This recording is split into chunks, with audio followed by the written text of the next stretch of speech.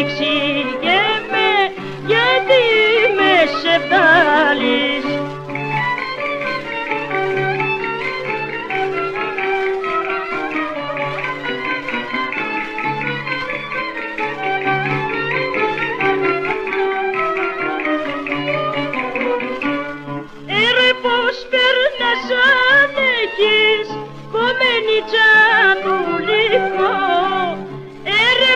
περνά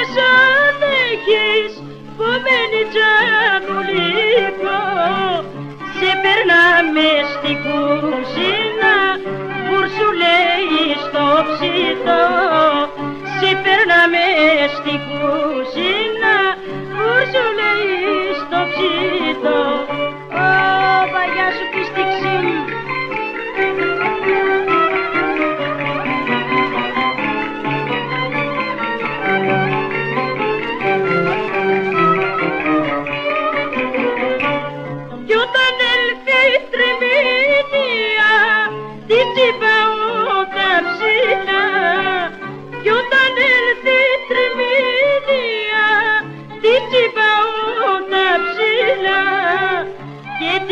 εγώ εις την άλλη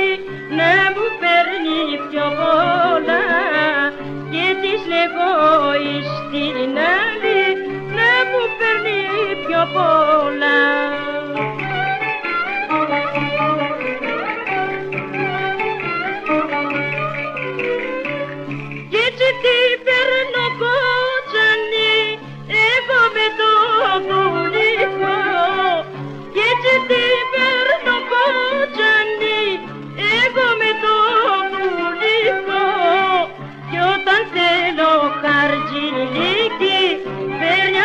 τα ταπετικό